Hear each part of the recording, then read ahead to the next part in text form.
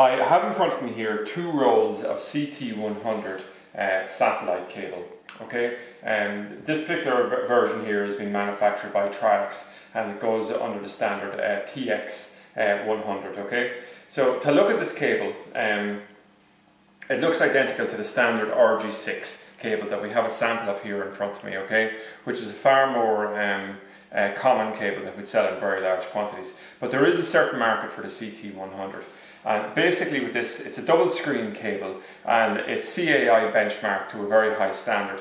Uh, and really what, may, what the secret of this cable here is that it has very low levels of loss um, so it's ideal, we'll say, if you are going to be running over extended lengths of cables and you want to make certain that you have a good signal at the end of a long cable run. Um, and the key to it is, is that it has a very high copper content.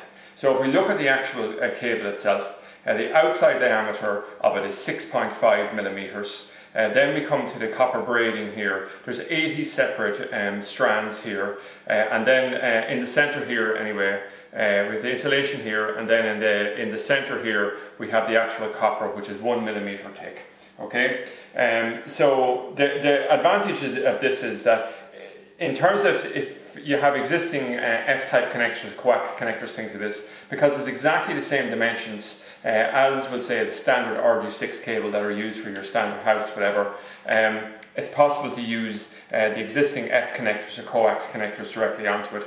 And it also will say uh, has the advantage of the, the low levels of, of, loss on it. So generally where, where it would be used, it would be in commercial jobs, if there was long cable runs um, around the house for instance, or if you were burying a piece of cable in an underground piece of ducting, something like this, and it was going to be impossible to access it afterwards, and you wanted to make certain you wouldn't have any problems with signal fall off, you could make a decision to use something like the CT100 on it.